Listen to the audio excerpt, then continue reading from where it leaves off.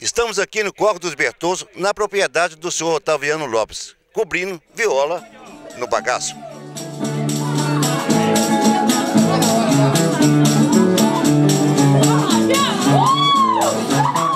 A família Teixeira Lopes realizou o segundo encontro Viola no Bagaço. O evento aconteceu no Engenho da Fazenda, justificando o nome, onde os familiares curtiram a verdadeira música caipira, ao som de viola, violão, afoxé e o pandeiro. O proprietário Otaviano Lopes fala da viola no bagaço e a importância da conservação do engenho. Esse meu irmão, o Oswaldo da viola, né, cismou de fazer isso há uns três anos atrás, viola no bagaço. Aí nunca mais deixou de falar nessa viola no bagaço. Era ter feito ano passado, aí foi passando, não fizeram. Esse ano a gente quer programar uma coisa mais bonita ainda, se Deus quiser. Enquanto eu tiver vida, eu vou manter isso aí. Desde 1951 tem esse engenho aí. E eu, com 12 anos, já estava aí. Então eles falam assim: ah, eu também estudei, eu sou engenheiro. Moedor de cano, tirador de bagaço. Fazedor de cachaça também, né? Olha, por exemplo, eu já, já reformei o moinho de fubá, que tinha 10 anos que estava paralisado. As paredes tinham caído, que era de pau a pique. Tem 137 anos que foi feito. Eu consegui rever a história disso. O assoalho dele, que é todo de madeira, tinha estragado, eu troquei todo. Essa semana passada já fiz um, fubazinho nele de moinho, pus ele para moer. E o engenho também estou conseguindo reformar tudo, uma roda d'água, com uma roda nova ali, só para manter as tradições. A fazenda está ali para todo mundo ver. Eu fiz uma reformazinha nela. Enquanto eu tiver vida, eu vou manter isso aí. Eu quero reformar tudo. Já busquei o carro de boi foi do meu pai. O carro de boi, quando ele comprou, tinha cinco anos, eu lembro disso direitinho. Então eu tô com ele ali debaixo da varanda para não deixar acabar. Enquanto tiver vida, vai ficar ali. Eu gosto disso. Gosto daquilo que faço. Então, diz quem faz o que gosta, quem faz o que gosta vive de férias. Eu tô sempre de férias. Eu faço o que eu gosto. É, só de manter isso aí, para mim já é uma. Não tem nada me, melhor que isso, não. Graças a Deus, Deus me deu esse, esse, esse, essas coisas para me fazer, poder fazer isso. As netas do Chico Otaviano e Dona Figênia Fernanda e Josilene fala do evento e de como também o engenho representa em suas vidas. Tudo aqui me recorda a infância, né? Nós somos agraciados de nascer numa família tradicional, né, da nossa região e estar aqui neste momento é recordar a infância. Eu tenho certeza que todos que estão aqui estão de alguma forma retratando o passado. É uma cultura que não pode acabar. E na nossa região isso é muito forte. Né?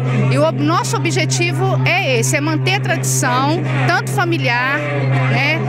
Começou há muito tempo atrás. Meu avô deixou isso aqui pra gente de presente. Né? E nós só temos a agradecer a Deus por este momento tão especial. Você representa a minha infância toda, né? Porque eu vivi isso aqui aqui. Então, assim, tudo de bom da minha infância. Fico muito feliz com esse evento e, assim, eu acho que todos estão muito felizes com isso, porque, assim, a gente viveu aqui. Então, assim, tudo nosso é isso aqui. O momento de fé e de agradecimento esteve presente também no evento. Pai, ao Filho e ao Espírito Santo. Amém. A Santíssima Trindade, nossos agradecimentos. E a música não parava. E para espantar o frio, alguns buscavam a dança, como também o bobó de frango e a famosa cachaçinha de nome sozinha. Outro momento que chamou a atenção dos que lá estavam foi a exibição dos berranteiros Luizinho e seu filho Márcio Luiz.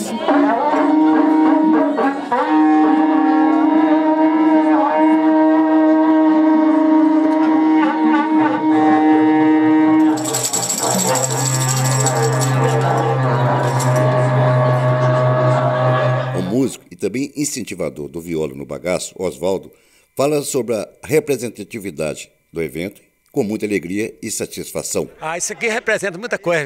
Relembra o passado, relembra quando nós, tudo nessa fazenda ali, aquele punhado, nós somos 12 irmãos.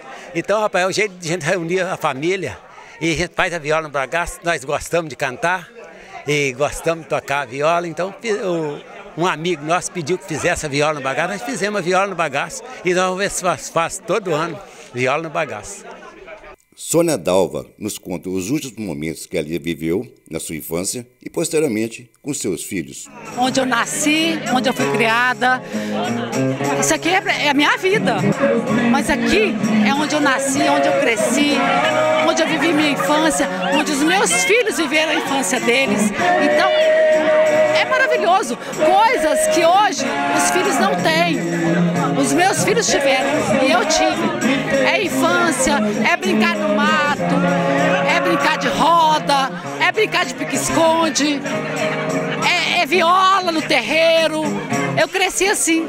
Luizinho do Berrante explica por que o nome viola no bagaço. No tempo que a gente tomava umas cachaças, o carburador ainda era dos bons, entendeu? A gente separava aqui para tomar uma e tocava viola. E quando a gente ficava meio apaixonado, a gente acabava nem indo para casa. Então nós dormíamos no bagaço aqui mesmo, sabe? Cada um arrumava a cama, fazia o travesseiro. Quando você pensava que não, o sabiá já estava cantando, o dia estava clareando. Aí já estava melhor um pouco, né? Então a gente seguia para casa, né? Porque afinal de contas, chegar todo em casa é meio complicado, né, rapaz? Aí a gente dorme logo no bagaço de uma vez que sara ressaca. Marcos Vinícius fala que toca berrante desde os 5 anos. Eu, eu, aprendi o berrante com 5 anos com meu pai. É uma tradição, já passou muito tempo. Como meu pai mexe um carro de boi, eu gosto muito da tropa, do cavalo. Gosto muito, muito, né? E então é bom, porque a gente tem que manter a tradição. O pessoal acha, acha diferente, porque eu sou um, um, cara jovem e que gosta. Porque o pessoal fala, ah, essa é coisa de, de velho e tal. Eu acho bonito, eu gosto. É, é meu jeito, né, de ser. Eu sou bem criado, assim, nesse, nesse lugar. E por hoje é só, com muita viola no bagaço.